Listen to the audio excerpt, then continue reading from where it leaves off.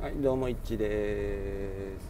東名高速のですね、上り厚木インターの手前ですね。今時刻が、えー11月1日の16時30分ですね。えーここがこの現場が先頭でですね。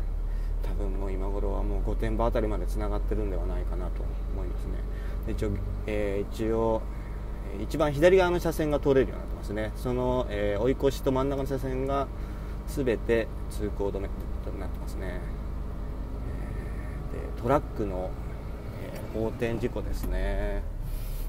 えー土砂を積んだトラックですね、えー土砂を積んだトラックがこのように思いっきり真ん中を塞いじゃってますね。こんな感じで。めっちゃ塞いでますね。